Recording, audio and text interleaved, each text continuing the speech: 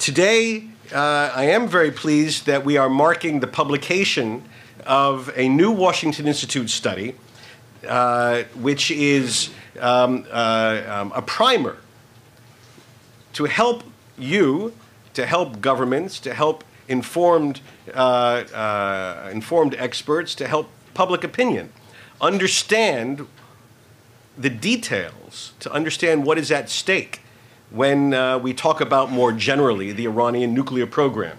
It is this Nuclear Iran, a glossary of terms.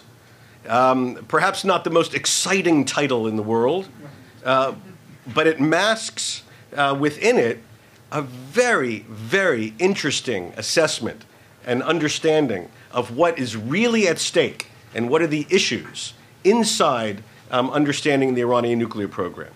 Um, uh, I'm especially pleased um, this, uh, this publication is a joint publication of the Washington Institute and the Belfer Center at uh, the John F. Kennedy School of Government at Harvard University. Um, and that reflects the partnership um, of the two authors of this publication, uh, Olli Heinonen and Simon Henderson. Um, uh, Olli um, is a senior fellow at the Belfer Center. Uh, he previously served as the Deputy Director General and head of the Department of Safeguards at the IAEA, the International Atomic Energy Agency. Um, and uh, he was responsible for inspecting nuclear facilities in Iran and throughout the world. Uh, brings unparalleled uh, experience to the question of understanding the Iranian nuclear program. Um, he's joined in this exercise, as I said, by our own Simon Henderson. Simon is the Baker Fellow at the Institute and the director of our Gulf and Energy Policy Program. Um, he has his own uh, long personal experience, uh, both in Iran, um, where he, uh, uh where he, uh, from which he reported um, uh, many moons ago as a foreign correspondent, and in dealing with nuclear issues, um, also. Um, from which he reported on, um, both on Iran, on Pakistan, and and around the world. together, they make a powerful team. This is an excellent study. If you haven't already seen it, uh, please download it uh, at the Institute's website. Um, uh, we, I don't know, do we have publications on the way out? Um, we don't have publications on the way out because we want you to go to our website um, uh, to read it and to take full advantage of it that way. Um, so, with that, I'm going to turn to, uh, uh, to, o- to, Simon to make opening remarks. he will turn to Olli, um, and then we will turn to your questions and answers. Simon.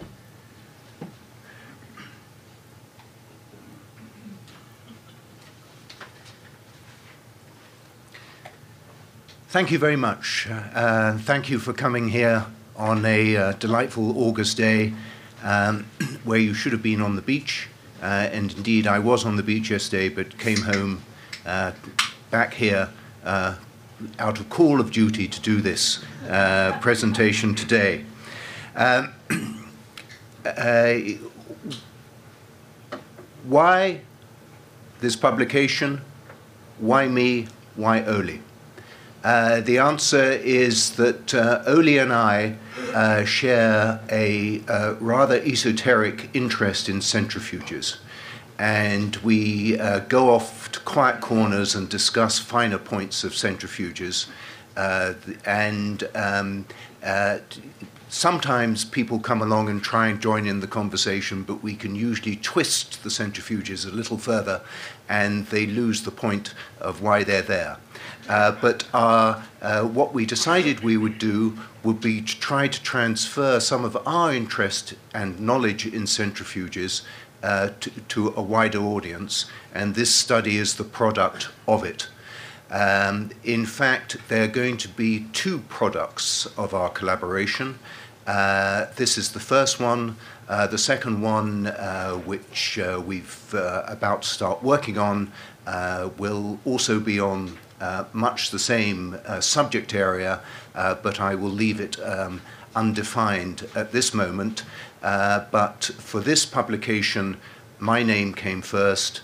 Uh, for the next publication, Olli Heinonen's name will come first. that is a mutual agreement, a mutual arrangement. Um, Oli is going to take a deep dive into the Iran nuclear question. My job is to set you up in readiness for that. Um, many of you, uh, judging by the faces, already know a lot about uh, the science and the technology of this issue. Um, many of you uh, probably know more than I know about it. Uh, but my uh, uh, particular experience is that I've done a lot of work on it over the years, um, and I've spent a lot of time trying to explain it in layman's terms. Uh, and that, for the next five or ten minutes, I'm going to do uh, again uh, for those of you um, who uh, really know this stuff. Um, I hope um, that my layman's terms are uh, interesting and not inaccurate. Uh, you're very welcome to borrow my analogies uh, for your own explanations uh, in future audiences. Um, and uh, for those who um, left um, school uh, with only an elementary knowledge of science, um, I will bring you forward so that you might be able to uh, understand a great deal of what Olli has said. Uh, for the record, um, I did do science at high school, um, and indeed I went to uh, initially went to university to read what I would call um, metallurgy and you would call metallurgy. I um, I decided after a very few weeks that this was not for me, and I shifted at that point. Uh, the irony of all this is that um, uh, I have subsequently spent a considerable amount of uh, my time uh, talking to metallurgists or metallurgists of one form or another, um, trying to think of all the knowledge I should have gained at college, which I didn't. Right, the science is, um, is brief and straightforward. Um, right. The trick of what uh, the, any nuclear question about is fission. It is the uh, a uh, it, it uh, is the story of atoms splitting and uh, releasing energy. There are essentially, for our purposes here, two forms of uh, fission. One is a controlled fission, uh, which is uh, when uh, the sort of um, reaction which takes place in a power reactor, um, where the uh, energy released is used uh, to generate uh, electricity or generate power, um, that is controlled. Um, there is also uh, uncontrolled fission uh, when there is uh, an explosive chain reaction. That's a cute way of saying an atomic bomb.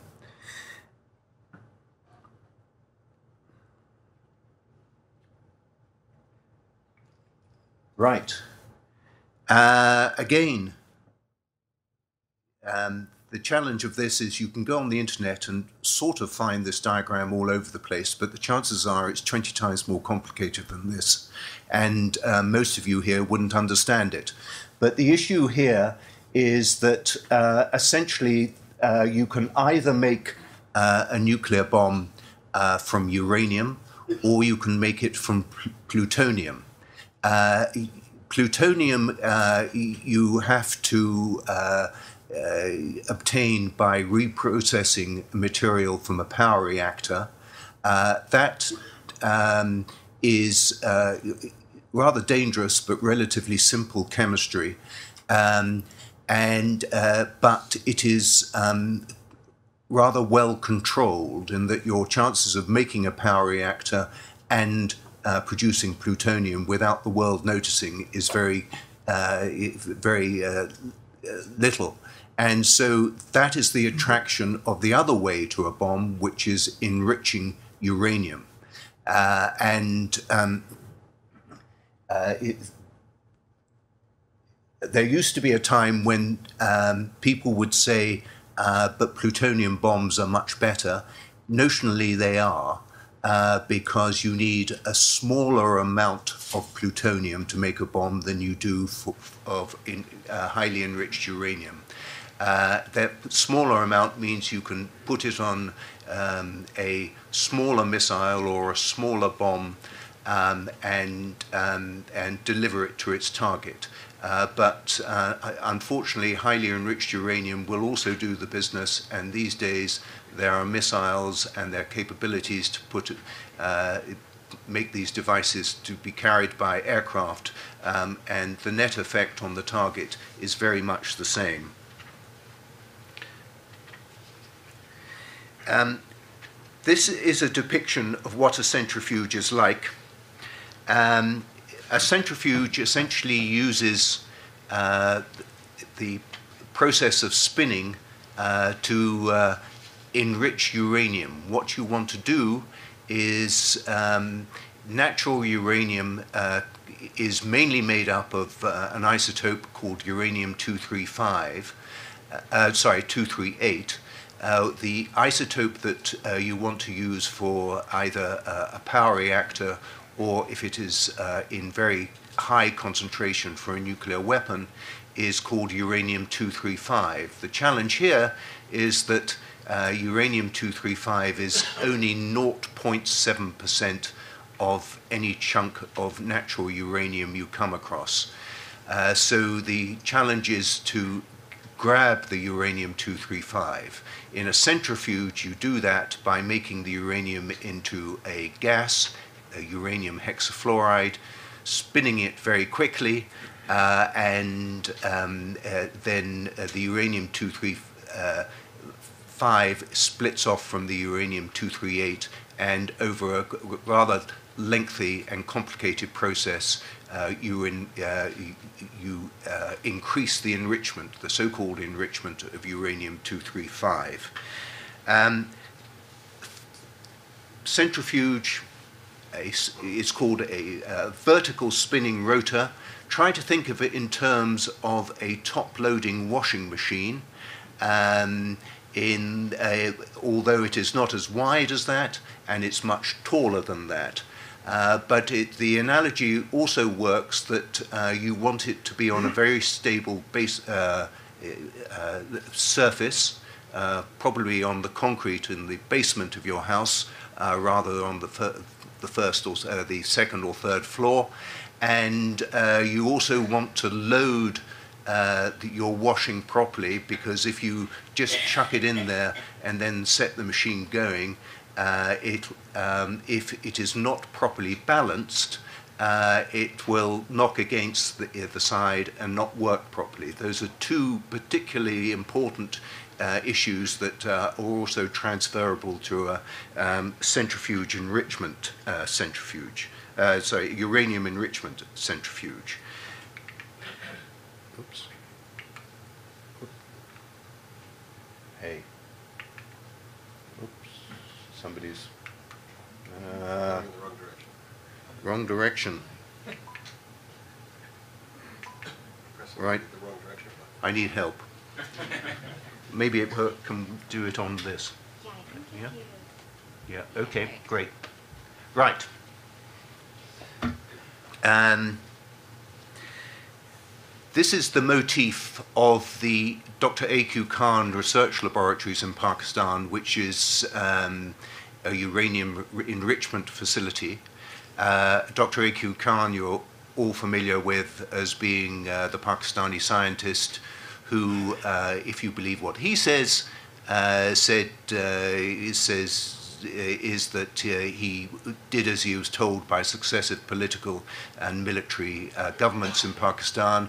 And if you believe what the Pakistan government says, uh, it is that he was a rogue agent, he did it by himself. But he supplied, um, having acquired centrifuge technology while working in Europe, he then also supplied it to China, Libya, Iran, and North Korea.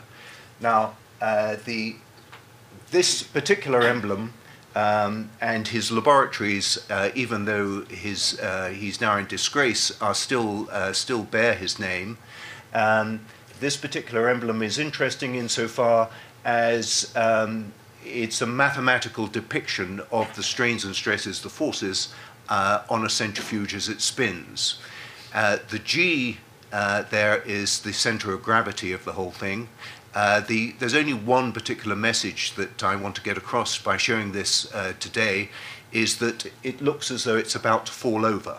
Um, and indeed, that is the challenge of spinning a centrifuge.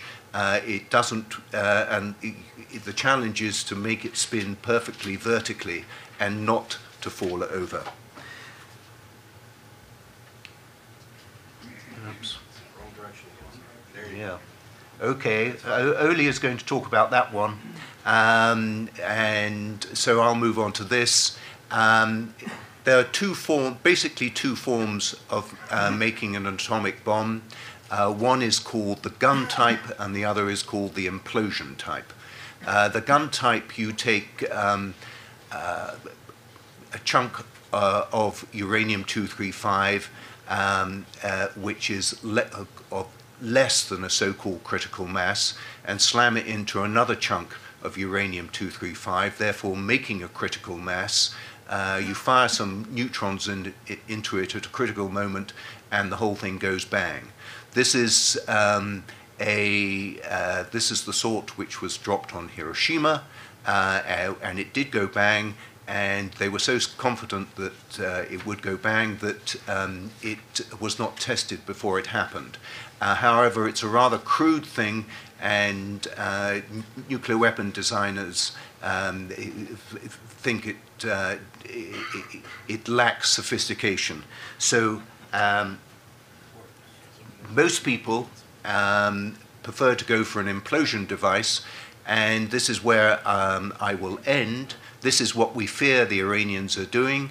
Um, and the, uh, the analogy here is that you're squeezing um, uh, a chunk of uranium into a critical mass. You could equally be uh, using plutonium um, uh, to, to make a critical mass of plutonium.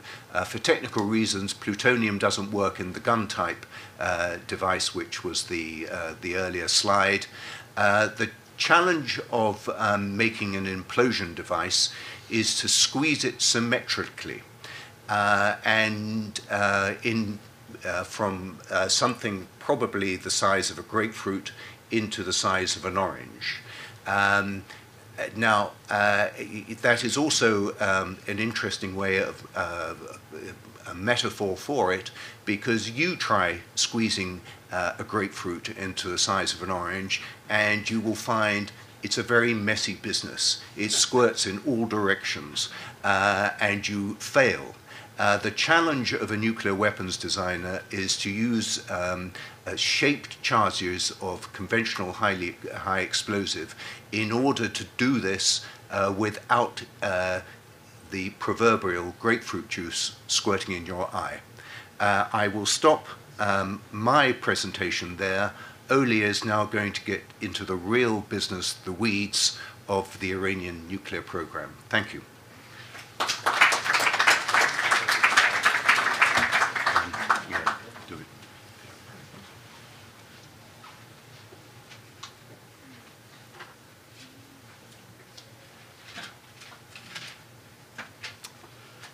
Good afternoon, ladies and gentlemen, and thank you for coming to this briefing meeting on our glossary. I don't think that I will provide any scientific uh, presentation here, but give you a snapshot where I believe today Iranian nuclear program is in two areas. One, where they might be with the uranium enrichment, and where they, what are those experiments which have been most likely done in Parchin, at Parchin. And I have put this thing together using information which the IAEA disclosed in its report in May this year.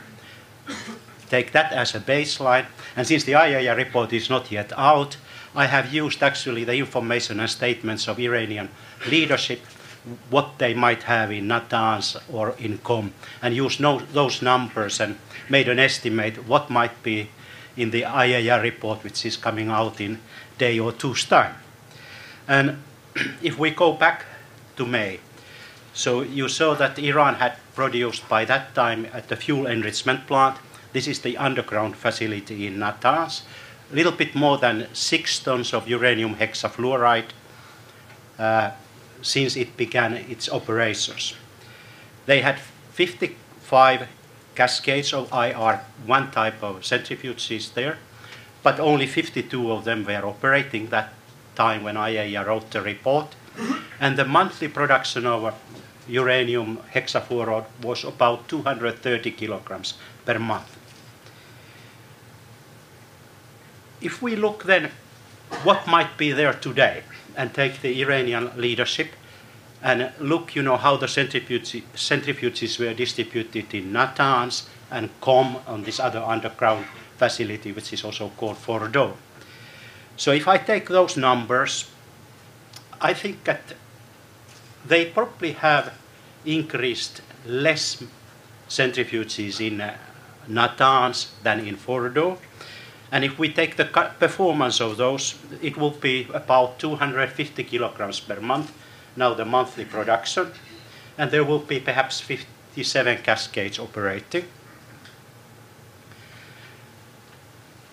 At the Fordo, you remember that there were two sets of cascades which were interconnected. And this is the way you produce 20% enriched uranium, that you feed 3.5% enriched uranium in, you get from other end something which is close to 20%, 19.75 to be accurate, but then the tail from that system is about 10%, and you feed it to the second uh, set of centrifuges. So you run this uh, centrifuge two cascades in tandem. This is the most efficient way to uh, use the material of 3.5% enriched uranium to produce 20%. And there was a small difference between the performance between the Natanz pilot plant, which has a similar set of cascade, versus, uh, versus uh, Qom. But roughly, those two cascades produced a little bit more than 7 kilograms uh, UF6 20% enriched uranium. And on that day, when IAEA made the report, there were two cascades which had been already installed, but they were not operating. And then they had another two uh, under construction. And this had led me to estimate that maybe what we will find in the IAEA report to come, that actually there are now four such units of 20% production operating in Natanz, oh, sorry, in Qom, which means that the monthly production is now much higher. It's about 20 kilos, most likely, at Fordow per month, UF6 20% enriched, which means then that the inventories are picking up. And this, uh, what we have seen in pilot plant is not very much changed. They probably run this original 20% production. They had their two more advanced centrifuge uh, cascades uh, under construction and installation, but they have intermittently used them for UF6 production. So we probably will see something similar, not a dramatic change. And what does this mean then in terms of the numbers? In May, if you put all the UF6 which Iran has produced to 3.5% enriched, was but 6.9 tons. And 1,200 kilograms of that was actually used to produce this 20% enriched uranium, which means that every kilogram of 20% enriched uranium you produce, you need about 9 or 10 kilograms of 3.5% enriched uranium as a feed. And they had produced by last May 145 kilograms of 20% uh, enriched uranium, but they have moved about 40 kilos of that to fuel pilot uh, fuel manufacturing plant in Isfahan, which manufactures fuel for Tehran research reactor. You recall that this is the justification for the enrichment of up to 10 20%.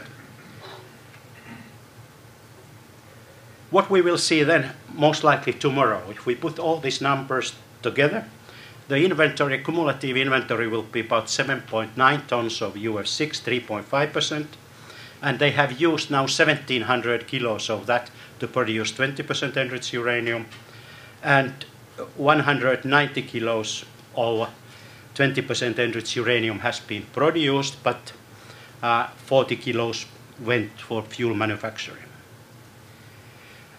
So if we look then a road ahead, and just assume that they continue with the current number of centrifuges, where we will be at the end of this year, next summer, or end of next year by the production of 3.5% enriched uranium. And you see from this diagram that uh, sometime in December they have about 8 tons of uh, UF6 in stock. Most likely some of it will be used then for 20% enriched uranium.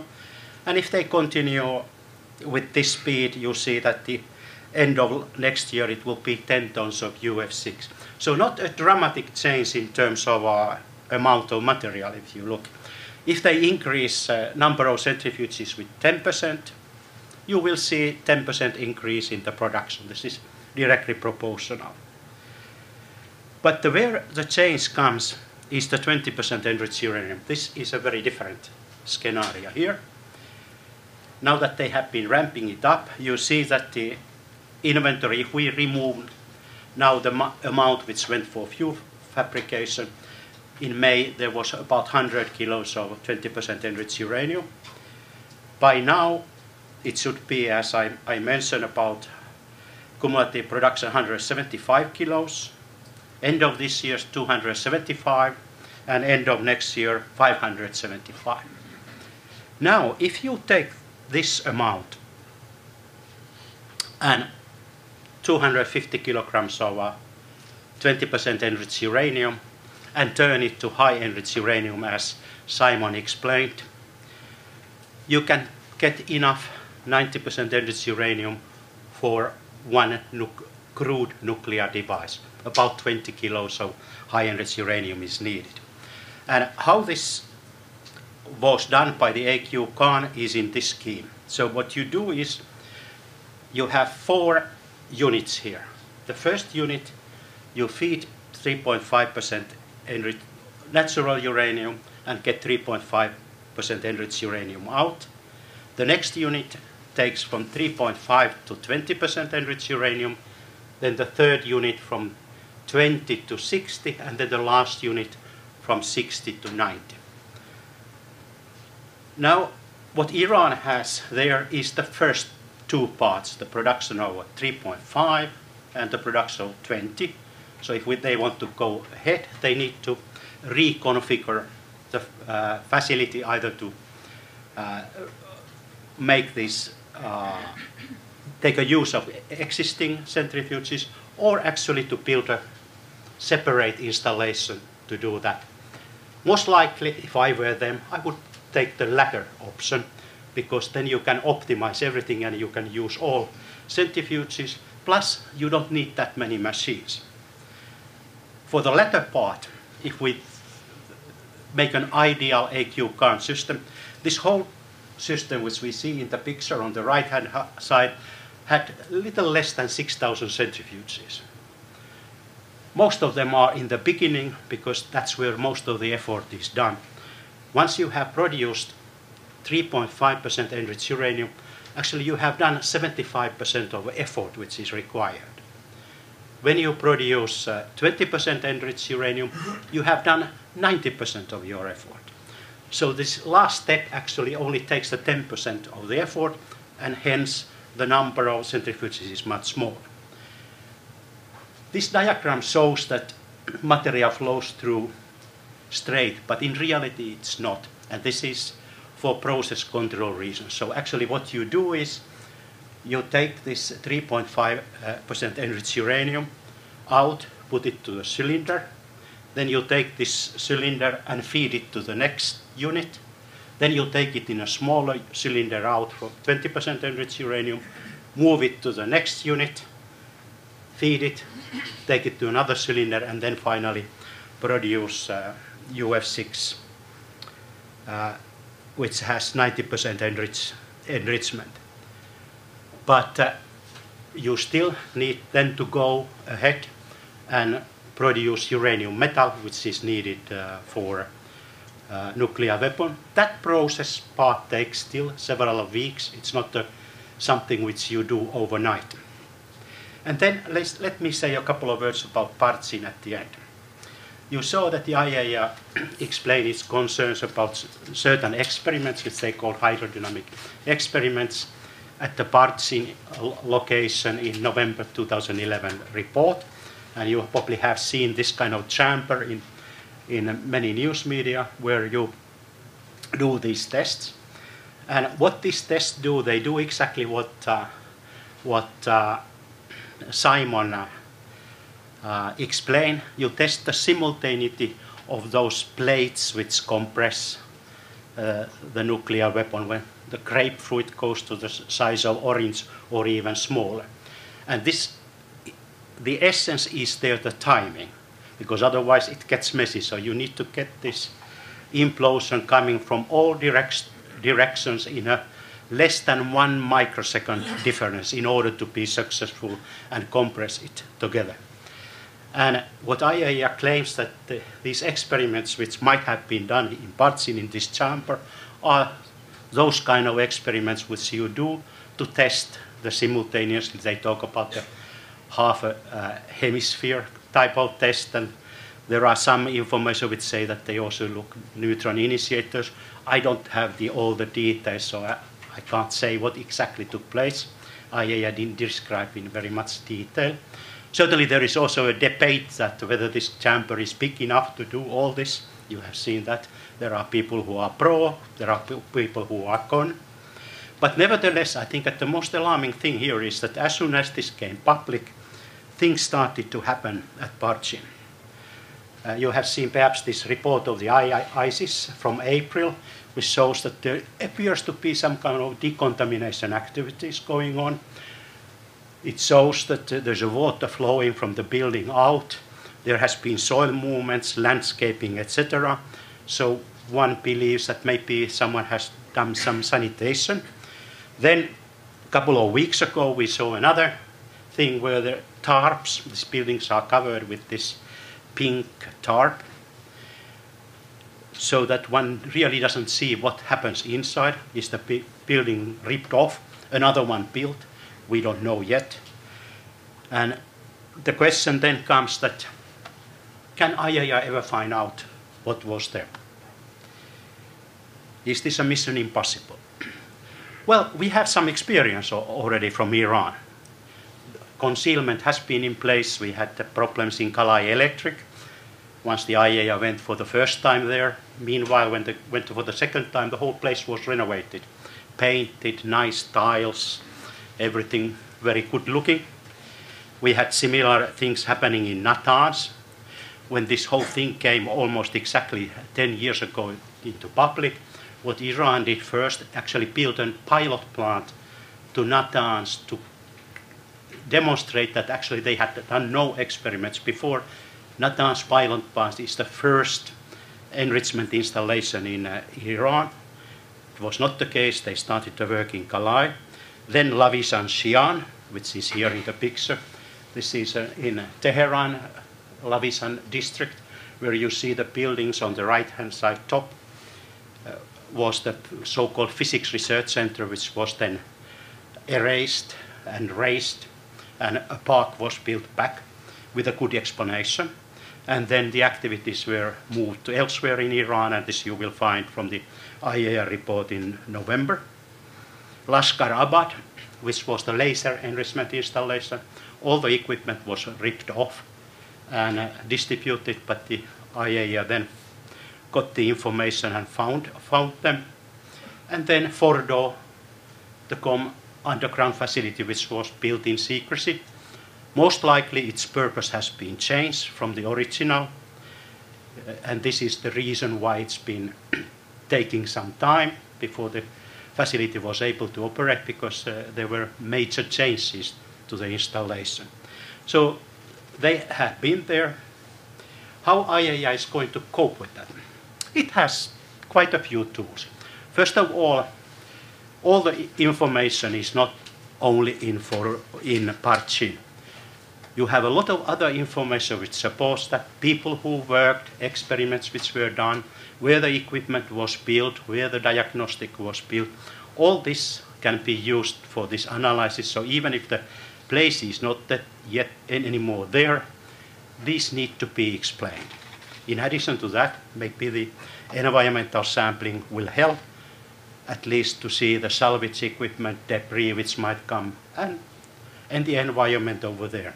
And you may recall that you know we had uh, inspections in Syria on this bombed Al-Kibar reactor where everything was leveled down, but the IAEA was still able to find uranium particles in spite of all the sanitation. So the uh, systems and measurement systems are extremely sensitive.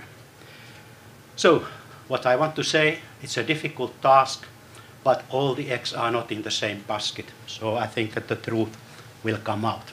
Thank you.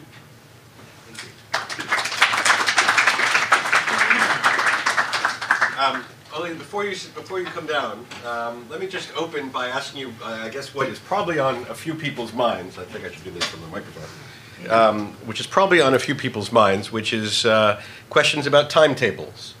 So, um, which I assume uh, IAEA reports don't go into. You know, where would Iran be in its pursuit if it chose to pursue a nuclear weapon?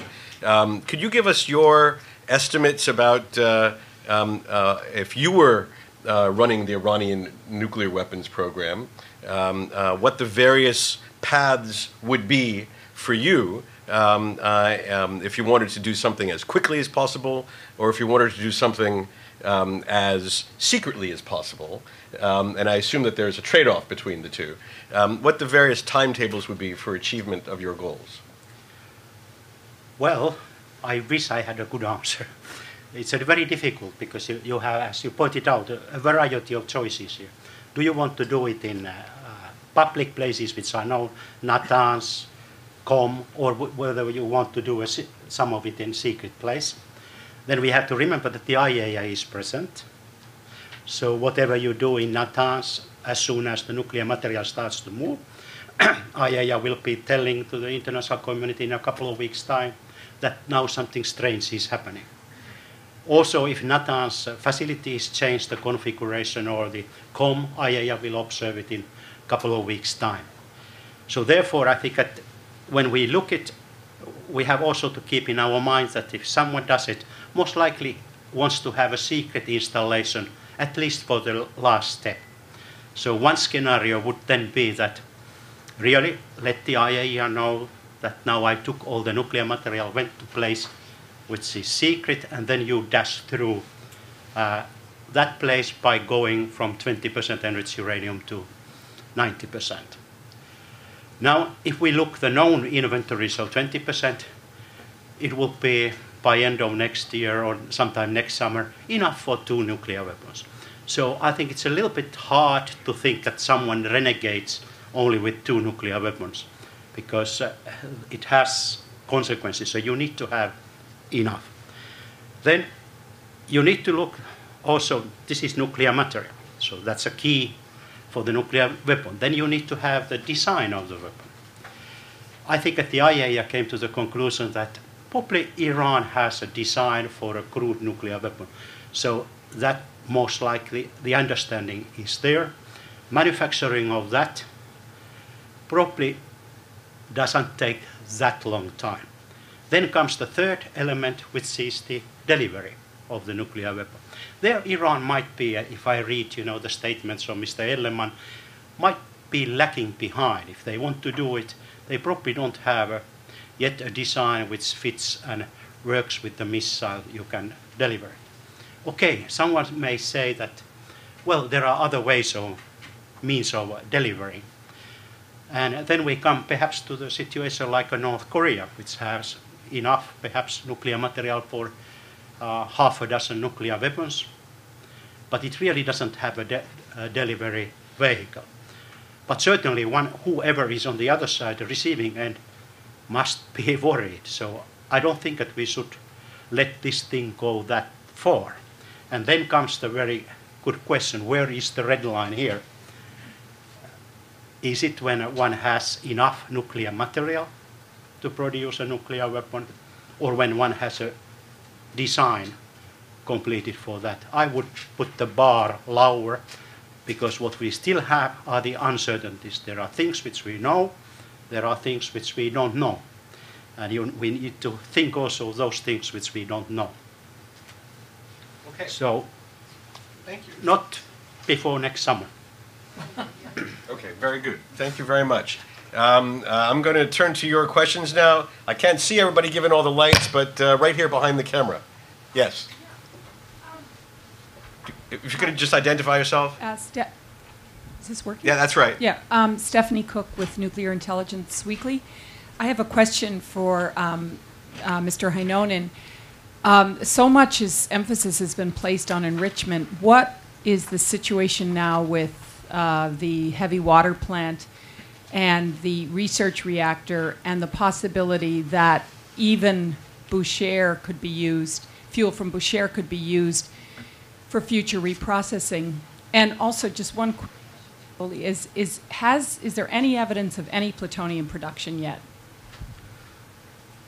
Well, let me answer in three steps. First of all, Iran had some very simple plutonium separation experiments in early 1990s, but then it appeared that the interest went away, and then they were focusing more on uranium enrichment. Then, where is the heavy water reactor in Arak or Khondab? What is the current status? We see that the building is under construction. IAEA reports that uh, some uh, nuclear-related equipment starts to come. But again, there are two parts here. One is the reactor construction, one is the fuel. And if you look the IAEA reports, not much of the fuel has been so far produced for that reactor. So if I look that, I, I have seen that Iran states that the reactor will be operating end of next year, 2013. I don't see from this technical information which is available that this will be very likely. So, but uh, it's difficult to give an estimate for that. Then, once it's operating, another year plus is needed before you have enough plutonium for, a, let's say, for first nuclear device. So you have to irradiate it for more than one year. Then you need to cool down. You cannot just take it straight from the reactor and do the reprocessing because it's too much radioactivity. So you probably need another year before you have the uh, plutonium. And meanwhile, you need to build a reprocessing plant so that you can do this. This reprocessing plant is not overly complicated. The technology is out there.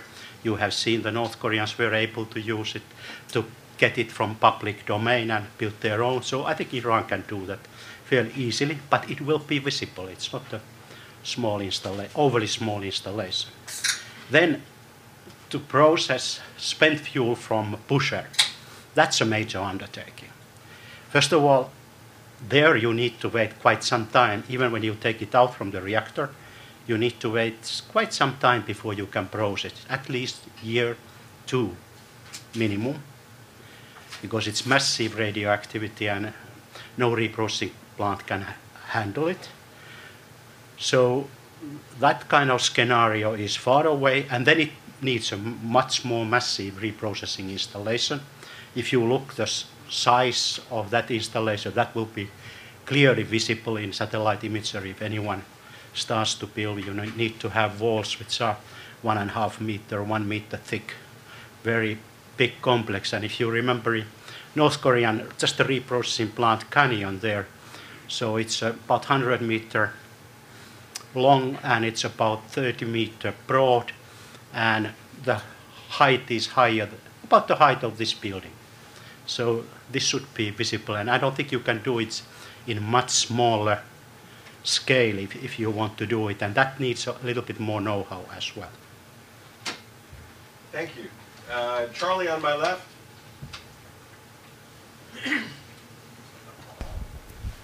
Um, Charles Perkins with AIPAC. Um, you talked about, um, you, you, sort of brushed over the, the very end part of the enrichment, where it, I guess, is assumed now that they would have the ability to convert the uh, 20% or uh, 90% then, if, if, they went that far, uh, into a metal. Um, is there evidence that they can do that? I mean, I know there's the, the issue of the machining hemispheres and so on, but is it just generally assumed that the ability to convert the gaseous uh, UF6 into a metal is pretty easy? And, and secondarily, you talked about the, the portion of the 20% that has been made into fuel plates. Does that, and, and this is relevant in terms of the diplomacy that focused on this, does turning it into a solid fuel plate uh, make it unusable for then reconverting into uh, bomb use or re-enriching it to the 90% to use in a bomb later on? First of all, uranium metal production. this is all in public domain. You know, there's no big secret how you turn uranium hexafluoride to uranium metal. And actually, Iran has produced uranium metal. It was a vital part of the laser enrichment project in Lashkar Abad and in Tehran Research Center. They produced, I think, several, maybe more than 100 kilos of uranium metal for that purpose. Certainly, the purity needs to be very different and done somewhat different way, but I think that the basic know-how is there, so that shouldn't be a problem.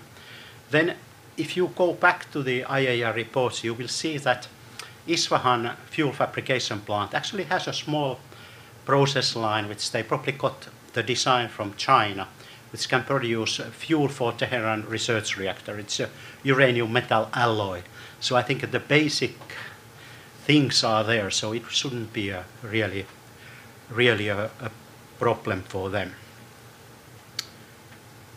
The uranium metal production. And then once you have, let's assume then that what to do with the Tehran research reactor fuel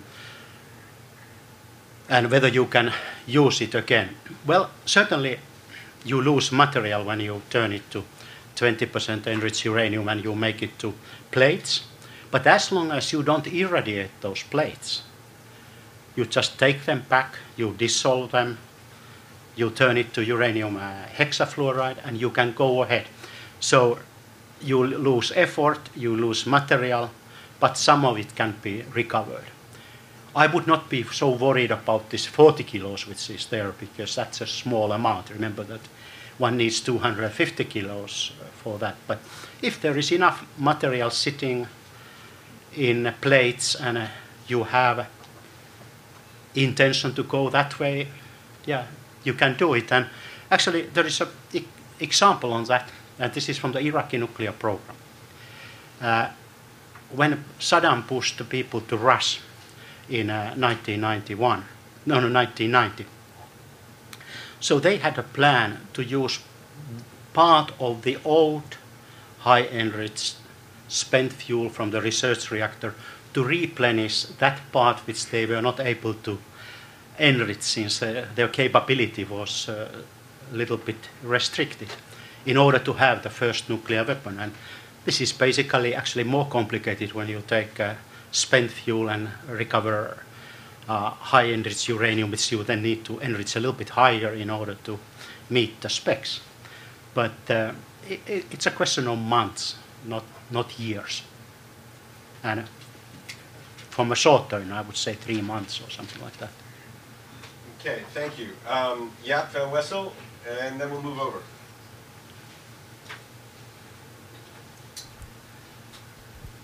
Jaap van Wessel, the Jerusalem Report. I've been told, a friend of mine who has been a briefings with uh, Urenco in Is the mic on here? Yeah, I've it heard something. It is. Okay, go ahead. Speak right into it. Uh, I've been told that uh, a friend of mine who met with uh, Urenco people in Holland who are familiar with the uh, with the technology that AQ stole there from Urenco, that uh, to make a nuclear bomb, that basically the technology is obsolete. You can make a nuclear bomb, but it is very slow. Uh, can you elaborate on that? Is that correct?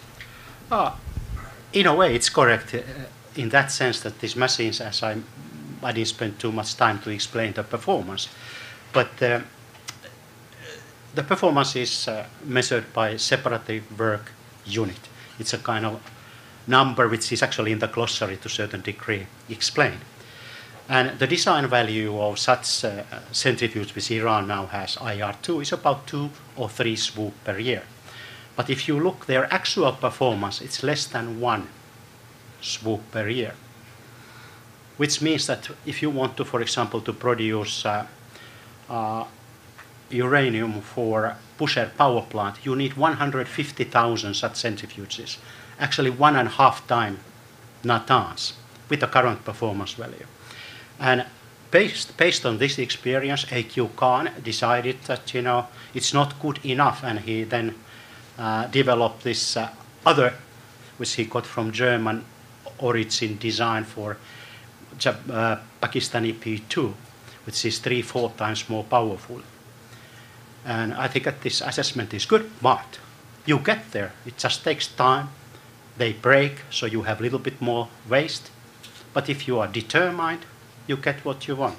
And the time is its number of machines. So the more machines you have, the shorter is the time.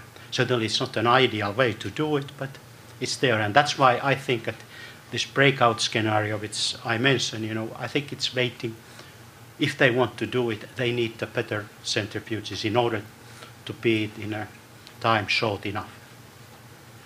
Um, Olli, could you take a moment to, uh, either you or Simon, to explain what um, the impact of uh, uh, cyber attack on this process, what do we know was achieved, and what do we know about the Iranians' ability to overcome that sort of external uh, cyber effort? Yes, I think that the cyber attack was a result of two things. One thing is that they went to the black market and a lot of information went out from the Iranian hands. And it was very well known the design of those centrifuges. All the documentation were, was there.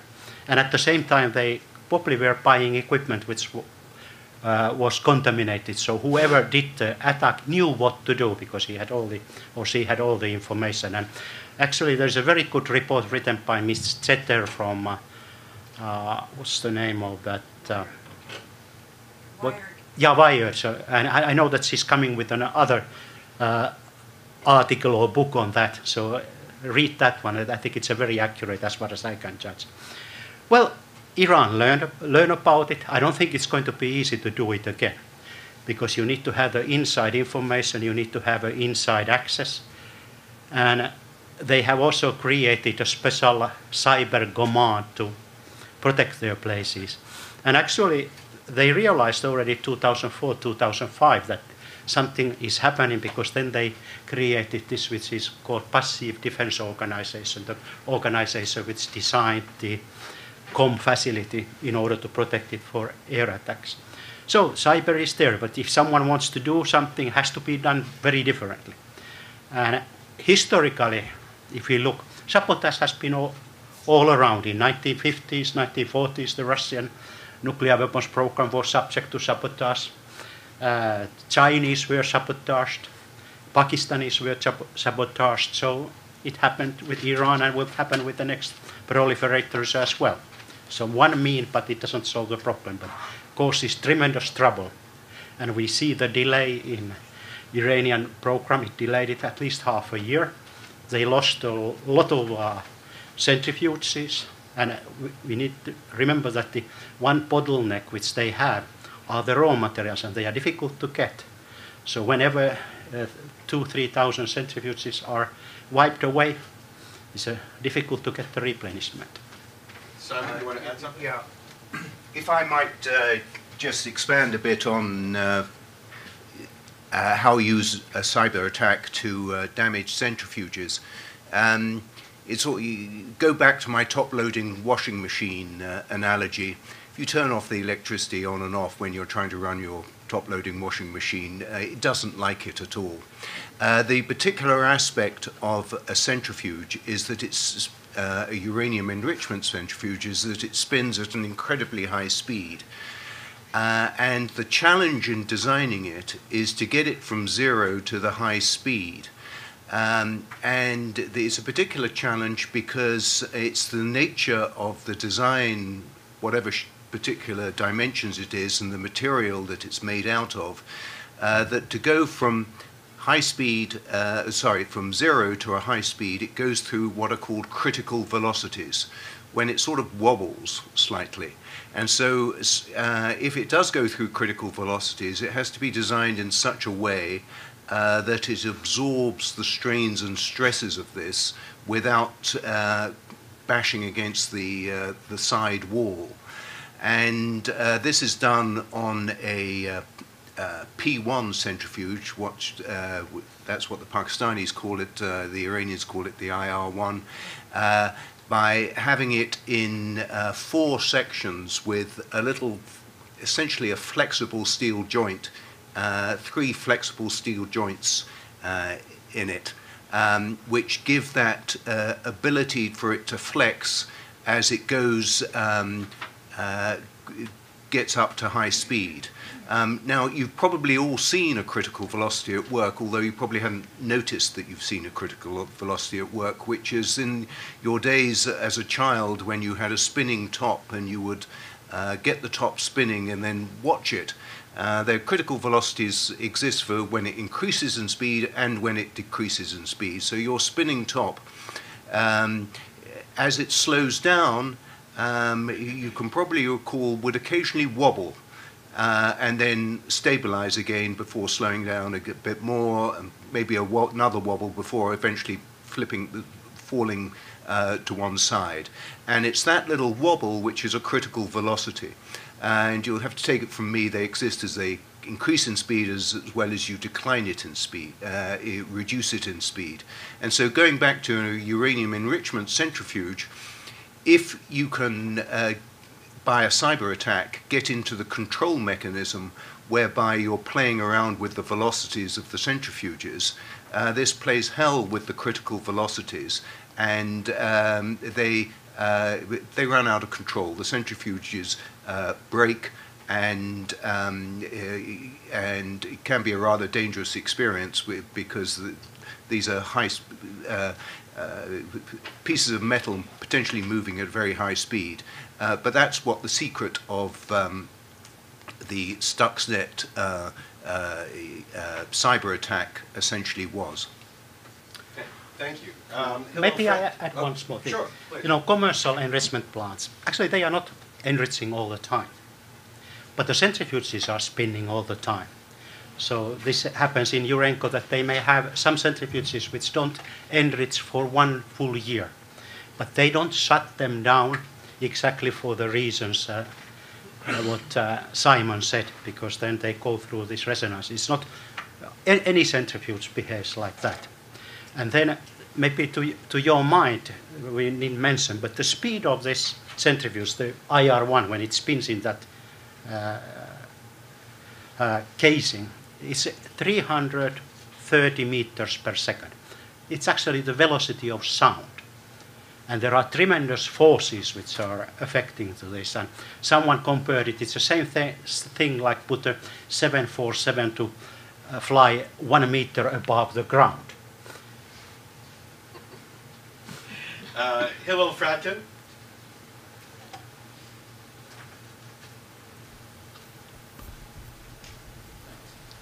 Thanks. Um, I, I wanted to ask Mr.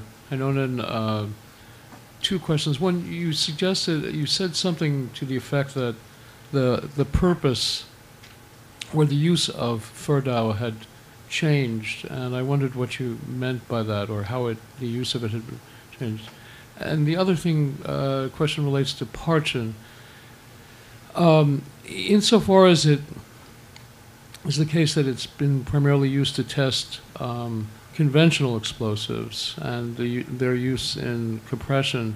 Um, is that the, the, the kind of uh, residue and, and evidence that would be looked at if uh, IAEA would get in there, or is there a suspicion that there was actually use of some uh, nuclear materials uh, as well? So let me start from, thank you, start from the parts. Yes, this kind of chambers are used for many purposes, and I have understood from the IAEA reports that there has been many other ex- experiments which have not really to do anything with the nuclear. And what the IAEA tries to find out, most likely based on this information they have from documentation and whatever they have, to find out if there are some features on those so-called nuclear exper- experiments which have left traces. If they used uranium, then it's uh, perhaps an easy thing, but you can also use uh, surrogate material uh, to uh, uh, on these experiments without using nuclear material because nuclear material is difficult to get and you know it has to be handled differently. Even though uranium is fairly easy, so I would not expect it. But you can use other materials and maybe they have done it by purpose because if you replace uranium with something which is equally he heavy like tungsten, the thing behaves roughly the same way. So then you don't break the safeguards laws because the irony here is that if you take the safeguards agreement, the way it is written, if you do a nuclear explosive test without nuclear material, you just design a nuclear weapon and do all the testing with, without any nuclear material, you are actually not in non-compliance with your safeguards undertakings. Certainly this is against the spirit of the NPT, non-proliferation treaty, which says that you should not do those activities if you have signed to that. But the IAEA mandate is the safeguards agreement, and therefore they cannot crucify you. Uh, but why the IAEA raises the concerns is that there is this non-compliance, a lot of undeclared activities, and there is a nexus to nuclear material. If you do this sort of experiments, maybe there is something going on somewhere else which you don't know, or there is a plan to build a nuclear installation. So this is where the uh, mandate comes from, together with the UN Security Council resolutions. So this was a Parchin. And the first question, can you said that the use of third element changed. Yes, that's true. Uh, if you read the IAEA report, this may be my speculation, but when this was uh, coming public in September 2009. IAEA went there about one month after the, uh, the announcement. There was no way that they were able to get there earlier for whatever reason. And they saw how the facility was on that day. Then, when you read the next IAEA reports after that, actually they tell about the modifications to the facility. That is a puzzling thing because when you design a nuclear installation, you design it from the very beginning in such a way that you don't you install piping and you put things in place that then a few weeks later you actually remove everything and do some excavation on the room to make it to different shape. It, it for me kind, is a kind of signal that maybe the design was for some other purpose originally than what it is today. And I think these are the questions which the IAEA is now asking asking from Iran. And the other question there was also that uh, it appears from the satellite imagery and some other information that the design and construction started much earlier than what Iran has claimed. So that's why IAEA has also asked to see those original documents and procurement information which was related to that. Uh, Peter, right in the middle, please, and then Jackson. Peter Zimmerman. Uh, you talk about experiments, and I note that uh, not all of the physical and nuclear parameters of uranium metal are unclassified. Not all of the relevant things are available in the physics textbooks. How much of the experimental program that uh, we see in Iran seems to be devoted to measuring those characteristics and how much to um, the brute force of making an implosion, for example, which is uh, symmetric. Uh, I guess I'm asking for a comparison between the amount of physics they need to learn and the amount of uh, hydrodynamics they need to learn in engineering. Well, first of all, you know, I'm not a nuclear weapon designer. The second thing is that actually, I don't think that uh, I want to comment those technical details. You know what IAEA knows about those experiments and you know what it doesn't know. I don't think it's appropriate because I break my confidentiality undertakings if I I, I do it. And from the report itself, you cannot uh, read much. You know what actually is happening there. And then we need to keep in our mind a couple of other things. And is that actually the question is really that did uh, Iran get its hands to these uh, designs which AQ Khan distributed for nuclear weapons? There were two sets of designs. There was this one, uh, which was lifted uh, from Libya and is here in the US in a vault not far from this place under IAEA seal. And then there was a more advanced design, which was then found later in some of the computers of this network people. And the question is that who got that design which was floating around around 93, 94, 95? And these are the questions which the IAEA has also asked from Iran, and I don't think that they have got the uh, proper answer yet. Uh, Jackson Diehl? In the back center, please.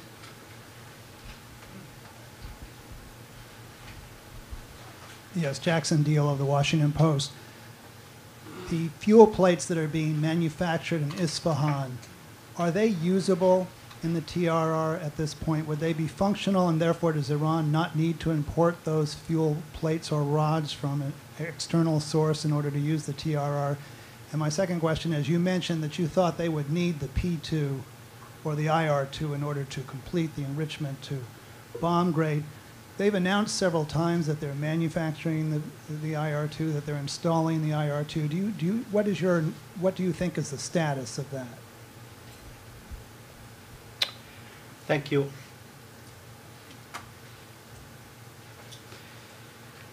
First of all, IR, TRR fuel.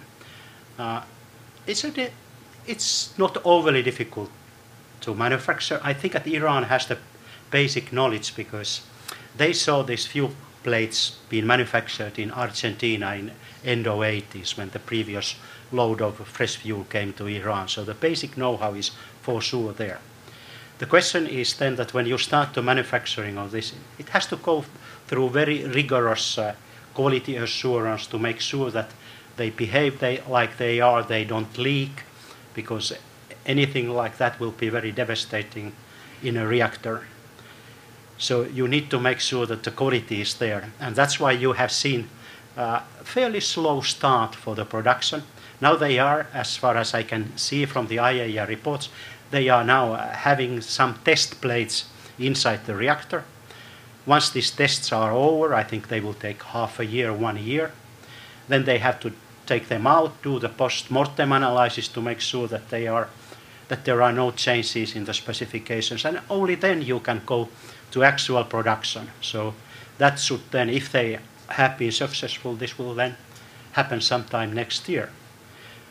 By that time, I think that Iran is going to run fairly soon out of fuel, and whether they are able to produce in, in quantities needed, we don't know. But I think that's there. Then the second question was, can you repeat? I didn't get it entirely. Yeah, yeah, good. Yeah, I have here. You see that the P2 and uh, or IR2M as they call. There are two IR2s, and I, actually I think that I have a. Yeah, here is the IR2M, the one on the right hand side.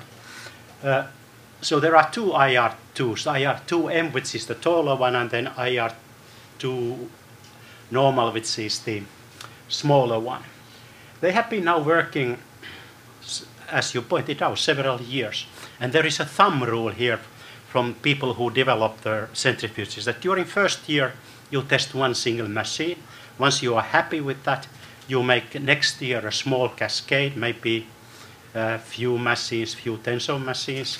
And then on the third year, if everything goes smoothly, you have a full cascade, which in this case would mean 164 machines running, and you push uranium hexafluoride through. And then after that, you come with something which is called a demonstration plant, maybe 1,000. So now they have been working already quite a long time with these IR2Ms, and they have not been able to feed all the time uh, UF6 through this cascade. What's the reason? Well, we can only speculate. Uh, one reason is that they still have design problems, that they have not been able to uh, solve all the manufacturing and design uh, parameters. The second thing is that they might have a lack of uh, raw materials because this centrifuge is very different. It doesn't use aluminum rotor. It most likely a, has a carbon fiber rotor inside. And this kind of high strength carbon fiber is difficult to get in big quantities. And you need to have big quantities in order to maintain the quality and uh, homogeneity of the material. then it's more difficult to manufacture than these other ones. But once you get it right, it lasts much longer time. So it may be a combination that there are some design problems, but the, perhaps the most difficult is to where to get the good quality carbon fiber in big quantities, plus the maraging steel which they need uh, for the end caps and uh, bellows. Uh, Patrick Clawson in the front.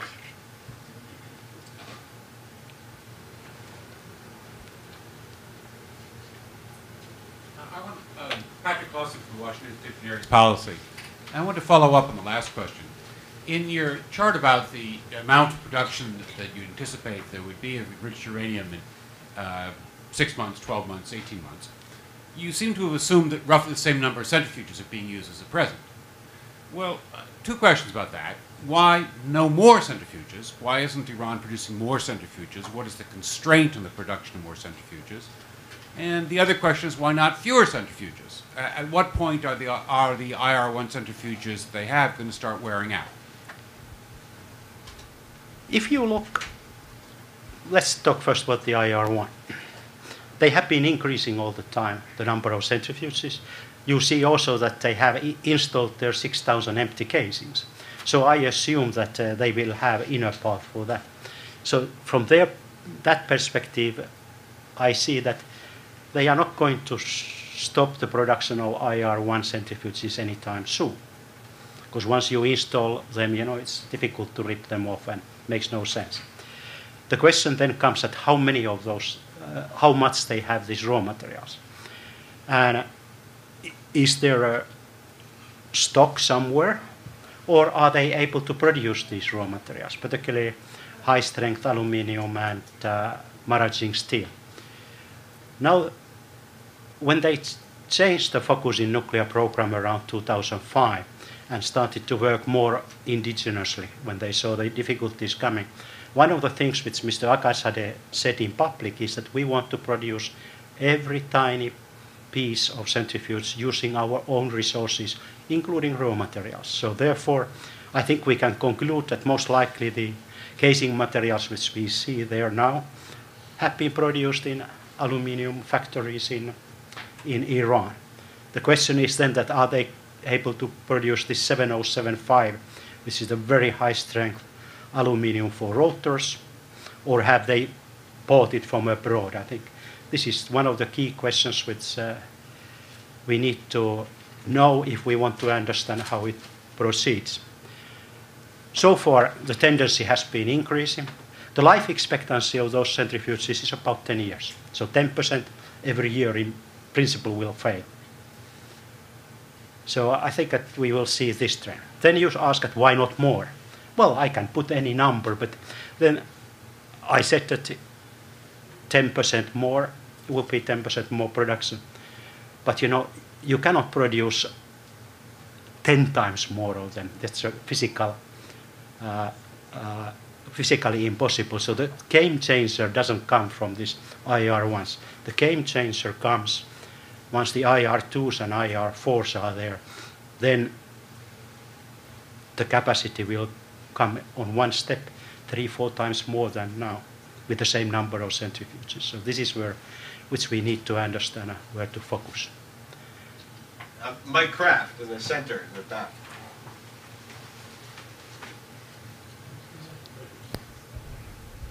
Yeah, thanks very much, Mike Kraft, a counterterrorism specialist.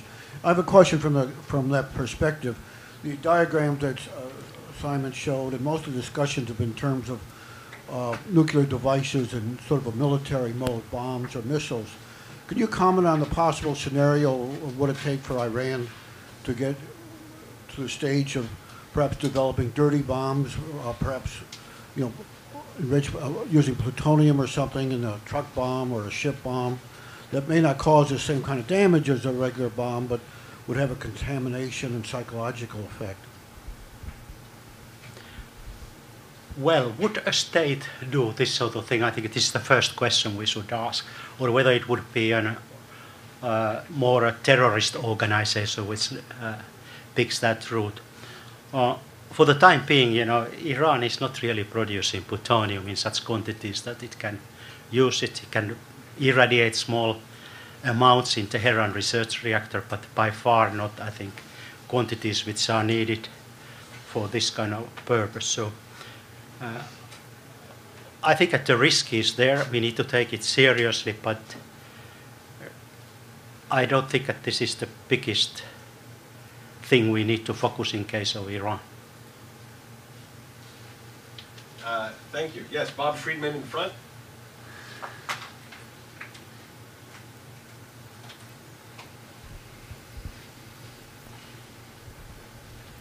Bob Freedman, Johns Hopkins University. A political question.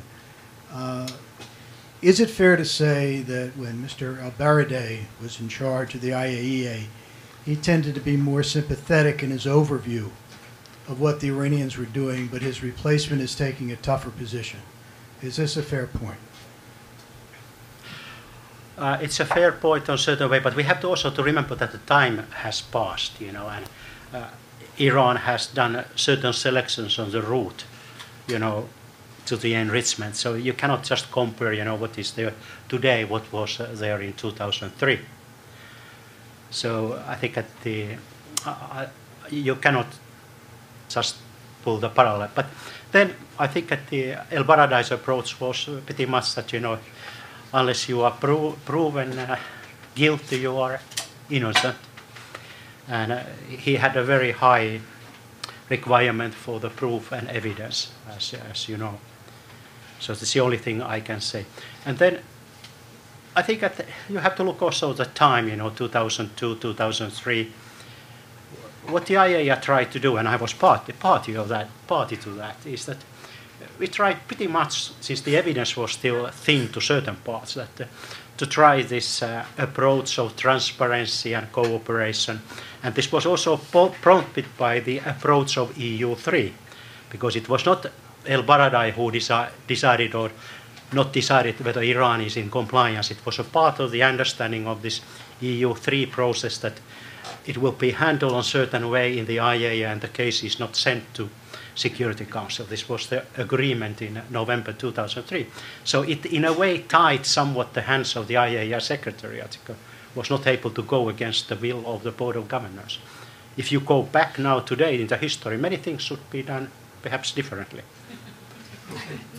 Olli, let me ask you one uh, a final question. Um, a few minutes ago, I asked you to put yourself into the shoes of uh, the head of the Iranian nuclear program. Yeah. Um, now I'd like to ask you to put yourself in the shoes of the head of some, so say, some foreign government who decides that it's important to put a stop to what you're seeing here. Um, is there a, what would be the link in the chain that, from your perspective, would be the most attractive and amenable target to significantly delay to significantly delay. Let's not throw out, you know, hypothetical cases of destroy something like this, but to significantly delay. What would be the most um, uh, appropriate target that would push the Iranians back a substantial period of time? I, I don't think there's a one th very, very simple thing is a, not a surgical strike but sledgehammer, so that the people really changed their mind, and that's what happened people very often compare uh, that, you know, look what happened in Iraq, you know, they, they went underground. But they didn't go underground in 1991. Actually, now when you go to the records, uh, Saddam Hussein gave up his, nuclear weapons program. That's so, so simple. So what we need to do is to send such a message or give such a choice to Iran that they don't proceed that route which they might be proceeding and clarify all these issues. And it doesn't need to be an, a nuclear or, or uh, military attack. It can be something more, uh, more on, on, the economical side. The problem what we have really is that uh, now all these sanctions, you know, in place. I don't know how what is the price of one SWU, which they now produce in in in, uh, in uh, Natanz, but I know that Urenco sells it $130 a SWU.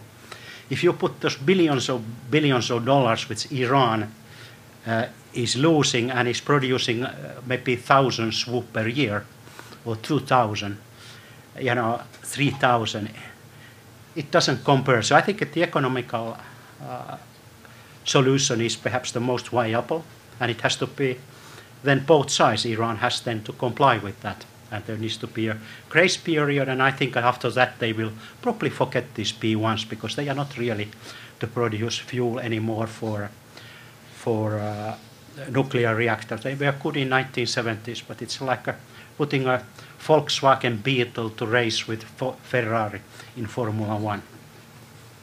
Okay.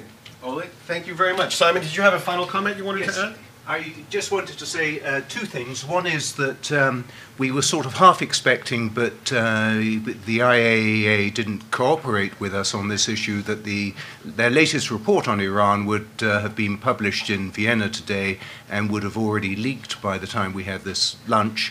Uh, it, this luncheon was going to be this luncheon anyway, um, and so there was a hope and a prayer there. I hope you found it a satisfactory meeting anyway. And, but when this report does come out, uh, go to this uh, report on our website. It's also on the Belfer website. Um, and uh, if you can't understand any of the uh, uh, terms in the IAEA report, uh, then look them up here. And um, certainly for those of you who looked a bit puzzled when Olli just now started talking about SWUs, that is, of course, a separative work unit, SWU, and of course it is here, and it's all too obvious what a SWU is when you read it here. Thank you.